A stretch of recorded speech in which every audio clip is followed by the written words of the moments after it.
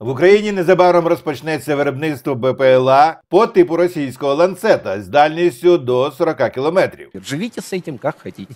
Під час випробування уже були бойові застосування. Як пояснили в міністерстві цифрової трансформації, у нас є велика кількість коптерів, які працюють на відстань до 20 кілометрів. Але вночі зараз досить важко знайти ціль у саме цьому діапазоні. Тому нам потрібно вражати ворога на відстані до 40 кілометрів. А дрони за типом ланцетів досить високотехнологічні. І через півроку українські збройні сили почнуть отримувати їх у великій кількості. Залишається важливим питанням, і ми зараз активно тестуємо це застосування. Це по суті запуск ринку е, компаній, які виготовлюють дрони по типу Ланцет, тому що в range і до 20 кілометрів у нас там є, скажімо, велика кількість коптерів, які застосовуються FPV дронів, але до 40 кілометрів вночі зараз ну досить важко знайти ціль там е, в діапазоні 20 кілометрів.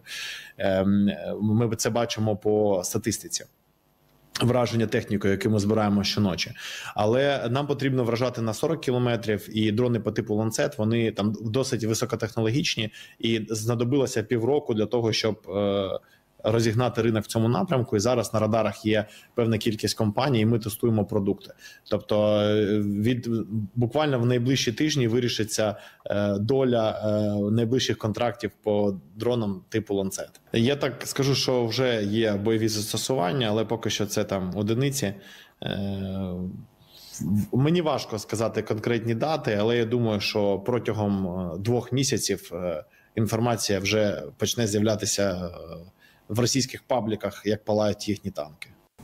Абсолютно хороше. Беремо все-таки за зразок оригінал, тому що з нашою так званою реплікою я особисто не знайомий, але з оригіналом знайомий і знаю, що це хороша, успішна модель, яку впровадили росіяни, і яка показує досить хороші результати. Це той рівень.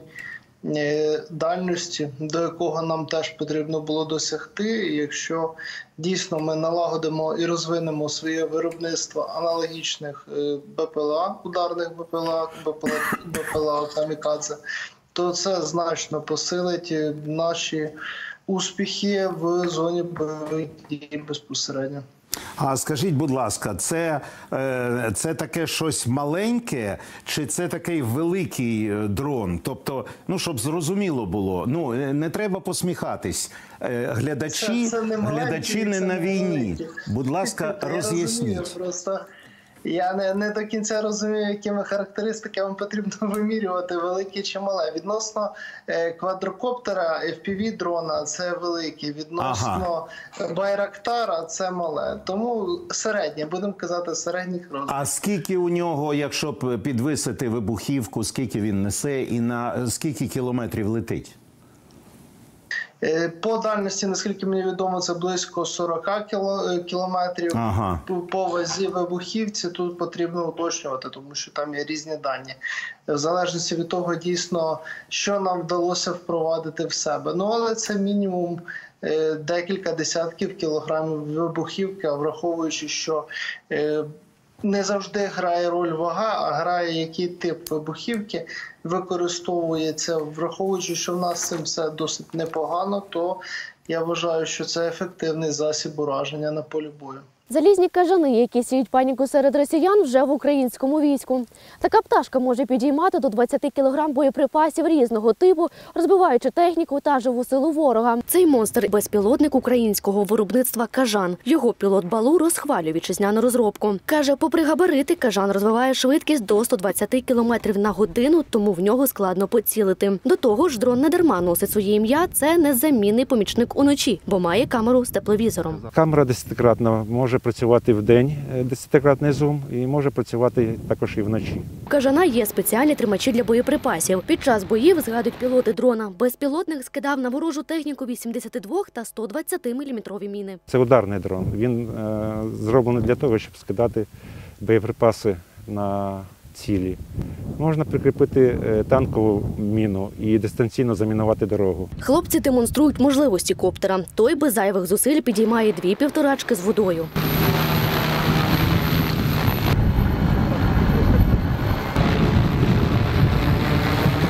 найкраще він показує себе в дистанційному мінуванні. Або е, скид, скид боєприпасів на нерухомі цілі. Тут він найкращий, йому немає рівних на сьогодні. Дрон простий у керуванні. Йому не потрібний великий екіпаж. Але щоб ефективно передати привіти росіянам, пілоти мають розумітися в інженерній справі. Люди потрібні, люди потрібні, і третє, люди потрібні е, для докомплектування, для того, щоб мали відпочити ті підрозділи, які знаходяться на нулі, е, буквально фактично без е, ротації. Це теж зрозуміло. Людей потрібно чимало, але людей треба готувати, і це у військах. До речі, хочу зразу всіх заспокоїти. У військах це прекрасно розуміють. Повірте мені, в окопі поруч нам нікому не потрібні, щоб були люди, які ледве не вперше бачать автомат і не знають навіть як переміщуватися по тому окопу або виконувати відповідні дії. І знову таки не лише штурмовики в збройних силах України, є інші категорії, які забезпечують в тому числі і дії штурмових підрозділів. Е, Ще один момент е, теж дуже важливий Е, по мобілізації. Дуже багато розмов, обговорень, демократичні процеси. Я все розумію. Люди добрі. Давайте задаємо 24 лютого 22 року. У нас повна мобілізація. Як мінімум, треба прийти до ТЦК, виконати свої зобов'язання, перевіритись на обліку, стати на облік. Про це чомусь хтось е, забув.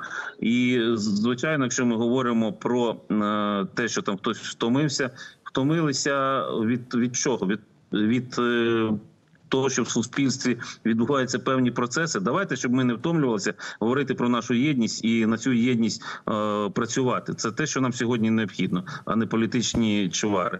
Ну і власне повертаючись до. Е, Скажімо так, забезпечення боєприпасами надзвичайно важливий момент.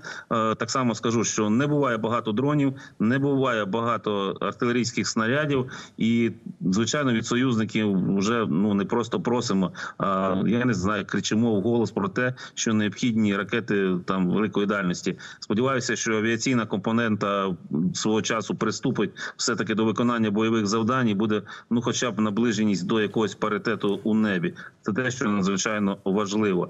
А з іншого боку, якщо ми обороняємо зараз на території України, ну давайте все таки трошечки позитиву, мотивації. Ми продовжуємо певні наступальні дії, власне, вже на території Російської Федерації.